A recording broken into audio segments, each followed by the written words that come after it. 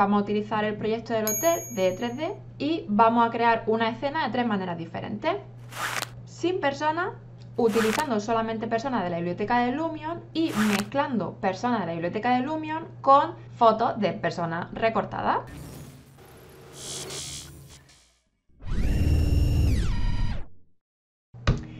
Hola, hola, soy Marta Calatrava, arquitecta especializada en visualización y profe del curso Lumion Genius en Especialista 3D. En este vídeo queríamos hablar sobre cómo añadir escala humana a tu imagen de arquitectura utilizando Lumion, pero sin que la calidad y el realismo que hayas dado a tu imagen, a tu proyecto, se vea afectado. ¿Y cómo vamos a ver eso, Marta?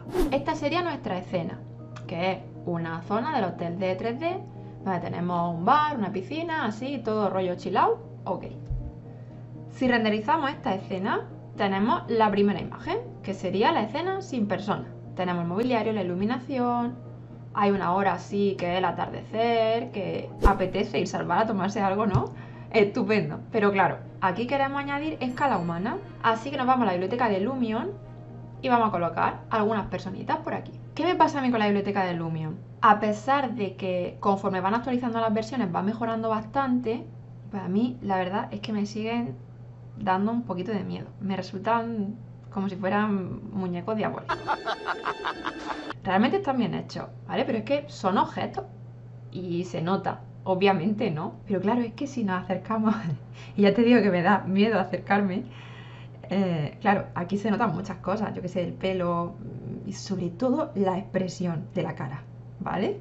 Es lo que me da más mm, cositas. Pero bueno, a ver, ventajas que tiene la gente de Lumion. Me voy a dejar un poquito. Se adapta muy bien a la iluminación de tu escena. Eso es muy importante. De hecho, elegimos una escena que es difícil para este vídeo porque no tiene la típica iluminación de sol a las 10 de la mañana. También se adapta muy bien a la posición. O sea, aquí tenemos gente que está sentada y si colocamos en su sitio, pues fíjate, parece que este señor está hecho para estar aquí sentado en el taburete. ¿Y qué más? Bueno, tenemos variedad de razas, tenemos variedad de ropa, que es súper importante. No es lo mismo que estemos en pleno de verano, ponemos a este señor aquí medio desnudo, a que tengamos una escena con nieve. Se nota mucho la diferencia, por supuesto. Y también tenemos variedad de edades. O sea, este señor de aquí, por mucho que esté muy enfadado y esté regañando a alguien, es mayor y esas cosas también son importantes. Esas son las ventajas. Vamos a dar una oportunidad. Venga, vamos a colocar aquí en esta escena varias personas y a ver qué tal queda. Cuando yo voy a colocar personas en una escena, me imagino una historia.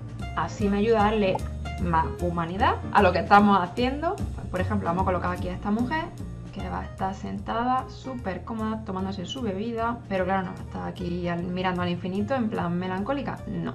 Está mirando para allá porque por aquí salen del bar dos amigos suyos, que son señor Efigenio, que sale por aquí del bar, y su amiga Eustaquia, ¿vale? Que también sale del bar. Están hablando de sus cosas y vamos a girarla porque si no, mal asunto. Y ahora se van a encontrar porque los tres han quedado en la piscina del hotel. ¡Qué envidia me está dando! Y dirá, a ver, Marta, ¿qué haces inventándose aquí historias y nombres de la gente? Bueno, aparte de que me ayuda a crear una escena, yo es que tengo la firme convicción de que se puede trabajar y pasártelo bien al mismo tiempo. Y además creo que es súper importante. ¿Cuántas horas pasas tú trabajando? Dímelo, escríbemelo en los comentarios, quiero leerlo. Sea lo que sea, seguro que son muchas. Bueno, ¿y qué pasa si todas esas horas que pasamos trabajando las pasamos también divirtiéndonos? No sé, yo lo veo súper positivo. ¿Tú qué opinas? Pues vamos a colocar más gentecilla por aquí por la escena y vamos a hacer el render. Y este sería el resultado. Si lo comparamos con la imagen anterior, sí que hay una gran diferencia, ¿verdad? ¿Cuál es el problema en este tipo de imágenes con la gente de Lumion? Principalmente en que se nota mucho que son objetos. Y eso me supone un conflicto cuando los coloco cerca de la cámara. Yo veo aquí a esta mujer con esta cara que no sé si está triste o está feliz o qué le pasa. Pero le pasa algo y no me gusta. Me produce rechazo. A pesar de que encaje la iluminación, encajan bien en el sitio, en el asiento, en fin, todo eso está muy bien. Pero aquí me está fallando algo. Una posible solución podría ser no enseñar su cara, que es lo que más me perturba, la cara. Pero seguimos teniendo un problema porque, vale, a esta señora ya no se le ve la cara, pero para mí hay un contraste entre la calidad de este objeto 3D con eh, la calidad del material del suelo. Hay mucho contraste. Si solamente miramos el suelo o miramos la piscina, me resulta chocante con respecto a la calidad de, de los objetos de personas. La solución que al final utilizo yo es no colocar personas de Lumion cerca de la cámara, ya estén de cara o de espalda. No lo utilizo. Así que por aquí todo esto lo voy a eliminar, no me gusta. Y voy a sacar el siguiente render, que sería este de aquí. Aquí ya, simplemente por la distancia de la cámara, ya no vemos las caras, ya no se nota tanto que son objetos. Y además, como la iluminación de la escena es tenue, pues estupendo. Nos van a ayudar un montón para lo que ahora vamos a hacer, que sería la opción 3, que es terminar esta escena añadiendo nosotros imágenes de personas. Y podría decir, pero bueno, Marta, vamos a ver, tú querías añadir escala humana. Ya la has añadido, has dejado gente en el fondo, ya está, vamos a dejarlo así, ¿vale? Podríamos dejarlo así, pero nosotros en esta escena queremos añadir gente que esté un poquito más cerca. Bien porque nuestro cliente lo pida, porque oye, quiere ver su bar con gente, es completamente normal, o bien porque nosotros queremos mostrar este espacio con un poco más de ambiente, con más vida, porque al final es un bar al atardecer, qué mejor momento para tomarse una cerveza, ¿no? Así que nos vamos a nuestra propia biblioteca de personas, ¿vale? Que son personas reales recortadas. Si compras packs de gente recortada, pues genial, así no inviertes tiempo en búsqueda ni en edición. Si quieres fuentes gratuitas, escribimos en nuestro amigo Google People PNG y te van a salir un montón de opciones de bibliotecas gratuitas que además está muy bien. Eso sí, echa un vistazo porque algunas están mejor y otras están peor, tanto en la calidad en sí de la imagen como en la calidad del recorte. Y luego hay algunas bibliotecas súper famosas como Scalgubar que están muy bien, están bien recortados, pero claro, si esta persona era del norte de Europa, resulta que todos sus modelos pues son gente nórdica. Y si solamente tenemos la biblioteca con gente de este tipo, al final todos nuestros proyectos van a aparecer de Europa del Norte. Por eso, bueno, yo te recomiendo que poquito a poco te vayas haciendo tu, biblioteca y así tenemos más recursos y no nos pillan en el último momento que tenemos que entregar el proyecto, no nos da tiempo y al final seleccionamos gente que no encaja bien en la escena. Es que de hecho también nos puede pasar con la gente de Lumion. En nuestra escena del hotel, si colocamos, por ejemplo, a esta señora, esta señora no me encaja. En mi mente, esta señora está mm, deseando terminar el día de trabajo porque tiene que hacer una presentación, encima se le ha olvidado el pendrive y está esperando que alguien le responda al teléfono porque lo necesita y quiere irse a su casa. Así que esta señora aquí no me encaja. Pues nada, señora, espero que le vaya muy bien la presentación, pero aquí no nos encaja. Pues dicho esto, vamos a añadir las personas que faltan en Photoshop. Y yo al final he añadido unas cuantas personitas por aquí esta otra personita aquí sentada y a esa otra ahí al fondo. Realmente en lo que me he basado, aunque ahora la editaré un poco, es que encajen en la escena, por supuesto, y que encajen un poco en la historia que estábamos contando. O sea, yo aquí me imagino que estas personas se van a encontrar con esta otra y esta señora que está aquí esperando a alguien y está mientras tranquilamente mirando Instagram. Y esta otra pues está hablando con la de Lumio, que estaba aquí sentada y además me he dado cuenta en mis proyectos que al mezclar eh, gente real con gente de Lumion, también difuminamos un poco el efecto ese de que es un objeto y ayuda. ¿Qué pasa? Que igual que la gente de Lumion encaja súper bien con la posición que la iluminación, la gente de fuera no siempre encaja. Por ejemplo, si yo quiero colocar a esta señora aquí, por mucho que yo me empeñe y lo intente, no hay manera, porque resulta que su iluminación es de día y se nota un montón, tiene el pelo súper iluminado. Así que, por mucho que yo me empeñe, no va a encajar aquí.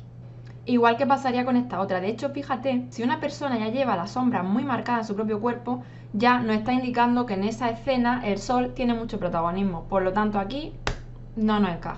Así que vamos a facilitarnos el trabajo y vamos a colocar gente que realmente sea fácil de encajar con nuestra escena. Y por último, si te estás preguntando qué hace aquí esta línea de Photoshop, es otra ventaja de que utilicemos aunque sea de referencia gente de Lumion. Y es que para que acertemos en la posición y el tamaño de las personas a la hora de añadirlas en una escena, todas las cabecitas de la gente deberían estar más o menos en la misma altura. Así que aproximadamente la colocamos ahí y ya sabemos que estamos acertando. Así que nada, voy a recortar y a cambiar un poquito la iluminación y añadir la sombra de estas personas y vemos cómo se queda.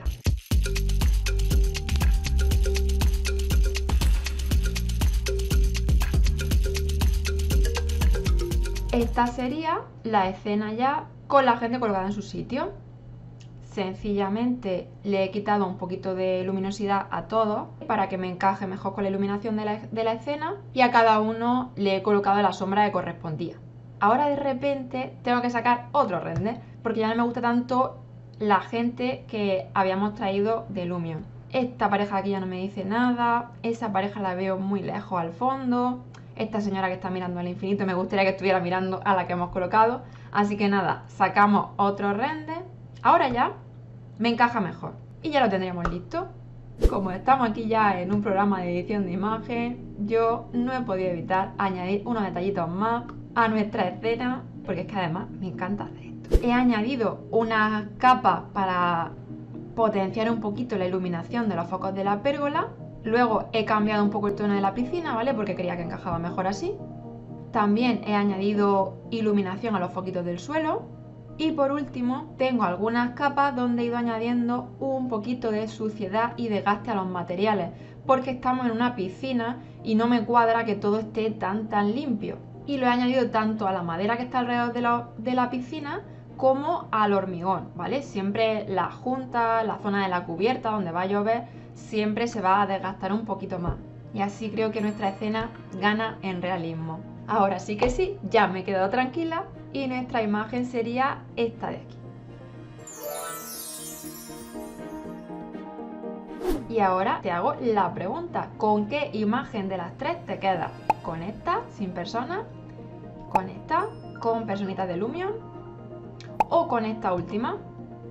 Yo definitivamente me quedo con esta aunque mm, no soy muy fan de poner personas en, mis imágenes, ¿vale? Pero hay proyectos que lo requieren. Siempre prefiero, aunque tengamos que invertir un poquito más de tiempo, poner eh, fotos de personas. La opción de añadirlas yo siempre me da un resultado que considero que es mejor. Pero quiero saber tu opinión. ¿Con cuál te quedas tú? ¿Cómo lo haces? ¿Qué prefieres? Escríbenos en los comentarios. Te leemos. Y si estás de acuerdo conmigo, me vas a permitir que te dé un último consejo. Por favor, no ponga al tío nadando en tu imagen. Mira, este es el tío nadando. Es que te prometo que ha pasado varias veces. Que algún compañero me ha dicho, oye Marta, no me termina de gustar la imagen que he hecho con, con para mi proyecto. Mira a ver qué pasa. Y de repente está el tío nadando. A mí también me pasa, ¿vale? Tenemos una tendencia y es que vemos una piscina y tenemos una biblioteca mm, súper completa de objetos y hay un tío nadando y vamos directo a colocarlo. Y claro, no siempre hace falta. Acuérdate de la cercanía de las personas y de la posición de las personas con respecto a la cámara este hombre está aquí mirando al infinito, está raro. Y, es que se me van los ojos. Y bueno, hay algo todavía peor que poner al tío nadando, y es poner al tío nadando y a la tía sentada al lado mirando. Eso ya... Mm, mortal. Es que digo, son los protagonistas. Y además, yo ya no puedo evitar pensar que este hombre tiene esta cara de, de pena, porque tiene cara de pena, porque esta mujer le acaba de decir, mira, Wilfredo, que es que yo ya no siento lo mismo por ti y tenemos que dejarlo. Y claro, el hombre se le ha quedado esta cara. En fin, que ya todo lo que te hayas currado en la imagen, pues queda en un segundo plano, porque estas personas son protagonistas. Así que, por favor, si tienes una piscina en tu proyecto, una piscina maravillosa, ten cuidado si añades gente en la piscina. Y esto es algo que además digo mucho en el curso. No se trata solamente de aprender a usar un programa, se trata de aprender a sacar partido a las herramientas que nos puede dar un programa, pero tener nuestro sistema de trabajo y nuestros recursos para aplicar lo que necesitemos en cada proyecto y en cada momento. Espero que este vídeo te haya resultado útil. Si te ha gustado, yo creo que este otro que va a aparecer por aquí también te va a gustar. Si no te has suscrito todavía al canal, pues yo no sé qué estás haciendo, suscríbete ya. Nos vemos muy pronto. Hasta entonces, cuídate mucho.